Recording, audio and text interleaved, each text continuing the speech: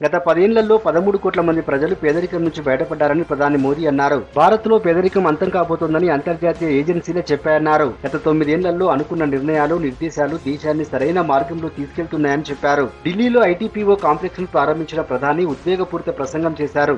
తన మూడో టర్మ్లో భారత్ మూడో అతిపెద్ద ఆర్థిక వ్యవస్థగా ఎదుగుతుందని తనది గ్యారంటీ అన్నారు ప్రధాని మోదీ.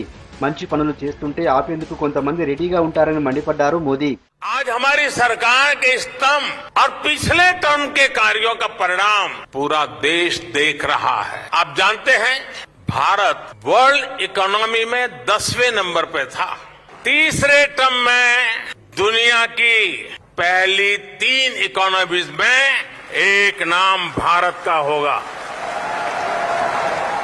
ప్రపంచంలోనే అతిపెద్ద మ్యూజియాన్ని ఢిల్లీలో నిర్మించబోతున్నామన్నారు ప్రధాని నరేంద్ర మోదీ ఇప్పటికే అతిపెద్ద నిర్మాణాలు చేపట్టామని అన్నారు అతిపెద్ద క్రికెట్ స్టేడియం ఇండియాలోనే ఉందన్నారు భారత్ మండపం ఆధునీకరించిన భారత్ కు ప్రతీక అని చెప్పారు ఈ భవనం ప్రతి ఒక్క భారతీయుడికి గర్వకారణమని చెప్పారు త్వరలో జీ ట్వంటీ శిఖరాగ్ర సదస్సు ఇక్కడ జరుగుతుందని ప్రపంచం మొత్తం భారత్ ఎదుగుదలను చూస్తుందన్నారు మోదీ एशिया का दूसरा सबसे बड़ा रेल रोड ब्रिज भी भारत में है आज भारत दुनिया के उन देशों में है भारत में आधुनिक इंफ्रास्ट्रक्चर के निर्माण के लिए करीब करीब 34 लाख करोड़ रुपए खर्च किए गए हैं इस साल के बजट में भी कैपिटल एक्सपेंडिचर 10 लाख करोड़ रुपए रखा गया है ఈ ఉదయం భారత్ మండపంలో ప్రత్యేక పూజలు నిర్వహించారు ప్రధాని నరేంద్ర మోదీ అక్కడ కార్మికులతో మాట్లాడారు ఆ తర్వాత వాళ్ళను సన్మానించారు ఈ కార్యక్రమంలో కేంద్ర మంత్రులు కూడా పాల్గొన్నారు.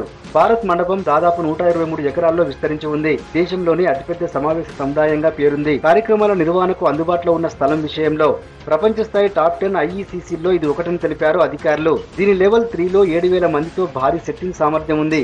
మూడు వేల మంది కూర్చునేలా యాంపీ థియేటర్ ఉంది. ఐదు వేల ఐదు వందలకు పైగా వాహనాలు పార్క్ చేసుకునే సదుపాయం ఉంది.